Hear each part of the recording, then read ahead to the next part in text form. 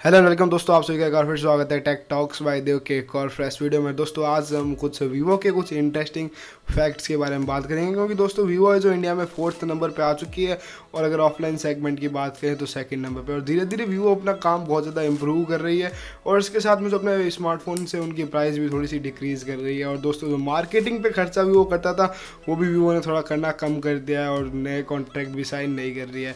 तो दोस्तों वीवो के ऊपर कुछ फैक्ट्स की बात करते हैं तो वीवो की जो टैगलाइन है वो है music and camera camera and music तो दोस्तों, यहाँ पर म्यूज़िक का वीवो से क्या रिलेटेड है? दोस्तों वीवो है ना, शुरू से ही म्यूज़िक में बहुत ज़्यादा इंपॉर्टेंट जो अपना रोल है वो प्ले करता है। और इसके साथ में अगर वीवो की शुरुआत की बात करें तो वीवो ने सबसे पहले ऐसा म्यूज़िक ऐसा स्मार्टफ़ोन लॉन्च किया था जो कि प्रॉपरली म्यूज़िक को सपोर्ट करता था हाई लेवल पे। दोस्तों म्यूज़िक को सब सपोर्ट करते हैं, पर उसके अंदर एक हाई फाई ऑडियो चिप लगाया गया था जो कि 2012 के अंदर वीवो ने लॉन्च किया था, जो कि वीवो एक्स वन नाम का एक स्मार्टफ़ोन था।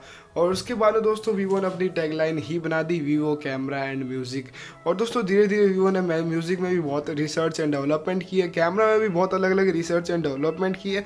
और उसके बाद वीवो ने 2013 के अंदर एक ऐसा स्मार्टफ़ोन लॉन्च किया, जिसके अंदर उन्होंने टू डिस्प्ले लगाया। और दोस्तों वो वीवो उस टाइम पहली ऐसी कंपनी थी जिसने टू डिस्प्ले का एक फ़ोन के अंदर यूज़ लिया था।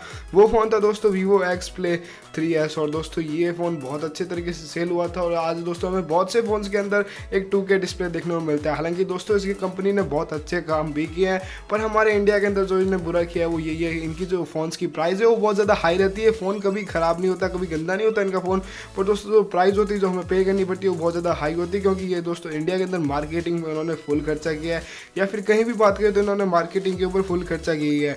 2014 के अंदर दोस्तों, ये कंपनी इंडिया के अंदर आई थी, और दोस्तों 2015 के अंदर ही इन्होंने आते ही मार्केटिंग की बात करें तो इन्होंने आईपीएल को स्पॉन्सर कर दिया था। और दोस्तों 2015 से 2022 तक का इन्होंने आईपीएल के साथ में कॉन्ट्रैक्ट किया था और 2015 के अंदर में पहली बार आईपीएल का टाइटल वीवो आईपीएल देखने को मिला था। और दोस्तों, अगर फैक्ट की एक अमेजिंग बात करूँ तो आपको नेक्स्ट मतलब बहुत सा आईपीएल मैच तक 2022 तक 2022 तक हमें वीवो ही आईपीएल का टाइटल देखने को मिलेगा। अब दोस्तों, केवल आईपीएल ही नहीं, चाइना के अंदर जो एनबीए होता है, वहाँ बास्केटबॉल का, उसमें भी हमें यही देखने को मिलता है। दोस्तों, जो सिविल वॉर मूवी थी कैप्टन अमेरिका की, उसके अंदर भी सारे कैरेक्टर्स के पास में दोस्तों वीवो के ही फ़ोन थे। अगर आप लोगों ने नोटिस किया हो तो अगर नहीं किया तो दोस्तों को आप लोग मूवी वापस देख लेना। पर जिंदों के भी पास फ़ोन थे, सबके पास वीवो के ही फ़ोन थे।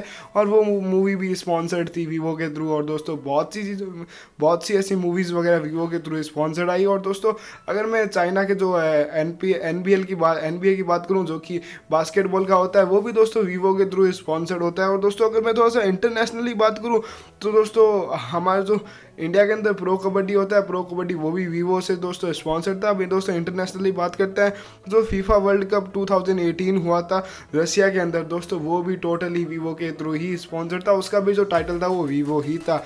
अब दोस्तों वीवो हर जगह बड़ा बड़ा स्पॉन्सर बन रहा है तो दोस्तों मार्केटिंग पे इतना खर्चा करता है। पर दोस्तों, अब रिसर्च एंड डेवलपमेंट की बात करते हैं तो वीवो वो कंपनी है, जो कि सबसे पहले अंडर डिस्प्ले फिंगरप्रिंट स्कैनर की टेक्नोलॉजी को शोकेस किया। वीवो एक्स ट्वेंटी के साथ में इन्होंने, और दोस्तों, ये फ़ोन बहुत ही अच्छे तरीके से इन्होंने ये इम्प्लीमेंट किया।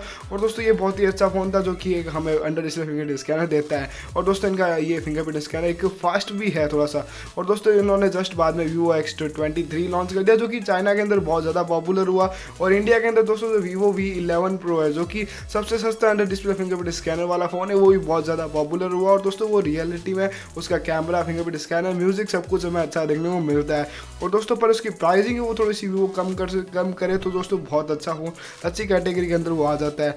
अब दोस्तों, बात करें वीवो के और रिसर्च एंड डेवलपमेंट की तो वीवो ने एक प्रोटोटाइप थोड़े टाइम पहले शो केस किया था, जिसके अंदर दोस्तों जो आधी आधी नीचे की डिस्प्ले है, दोस्तों वो पूरी एक फिंगरप्रिंट स्कैनर थी मल्टी टच सपोर्ट करता था, हम कहीं भी फिंगर लगा के उसे फ़ोन को अनलॉक कर सकते थे। हालाँकि ऐसा कोई फ़ोन वीवो ने लॉन्च नहीं किया, पर उसे वीवो अपना वीवो एपेक्स का नाम दिया था, और इसी, उसी के साथ में दोस्तों वीवो ने एक पॉपअप कैमरा का शोकेस किया था, जो कि वीवो ने अपने वीवो नेक्स के साथ में पॉपअप कैमरे वाला एक फ़ोन भी लॉन्च कर दिया, जो कि दोस्तों वो भी एक मतलब अच्छी परफॉर्मेंस वाला, एक अच्छा फ़ोन है और दोस्तों दोस्तों पर उसमें जो प्रॉब्लम रहती है वीवो बहुत अच्छे रिसर्च एंड डेवलपमेंट कर रहा है। जो प्रॉब्लम रहती है, मैंने वो आपको पहले ही बता रखी जो पॉपअप कैमरा होता है, उसके अंदर कभी भी मतलब टूटने का या फिर डर रहता है। दोस्तों, ये सब कुछ तो हो सकता है, पर फ़ोन बहुत ही अच्छा है, अपनी प्राइस रेंज के अंदर भी। तो दोस्तों, ये एक फ़ोन है। अब दोस्तों, बात करें वीवो के, कुछ इंडिया के अंदर तो दोस्तों वीवो इंडिया के अंदर भी पूरा का पूरा मेक इन इंडिया के कॉन्सेप्ट के अंदर आने की पूरी तैयारी पे है। क्योंकि दोस्तों, इन्होंने ग्रेटर नोएडा के अंदर अपना तीस हज़ार स्क्वायर फुट का एक पूरा प्लांट प्लांट खोल लिया जिसके बाद में दोस्तों यहाँ पर बहुत अच्छा इंप्लीमेंट चल रहा है।